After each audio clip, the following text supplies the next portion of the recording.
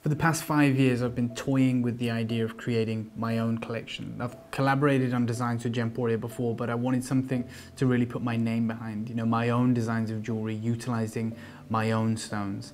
Uh, and for me to do that, I wanted something that was truly rare, something we'd never seen before, novel, unique, and uh, nothing had really uh, satisfied that craving. Um, and then I saw uh, the auction results for a piece of jewelry that blew me away. It was a piece uh, by Tiffany & Co. It was a, an estate piece of jewelry that featured the Sangha shell, the incredible Queen Conch shell and the Queen Conch pearl.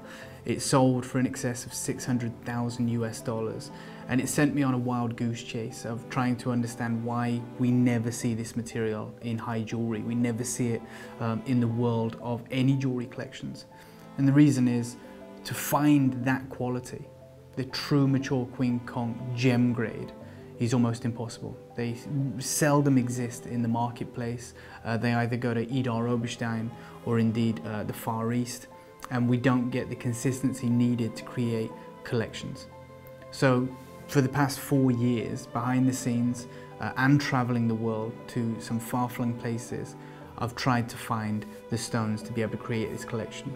This is the, the first ever showcase uh, that will bear my name, David Harry Jewels.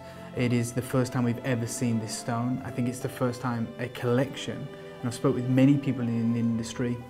I spoke with uh, many people that work on behalf of big name designers. I spoke to the guy who works with David Yurman. To our knowledge, I don't believe a single collection of this jewelry has ever been put together. There have been the occasional single pieces, and we wanted to bring this exclusively to Gemporia. Um, now I'd love for you guys to join me on part of the adventure that we went on to put together this collection.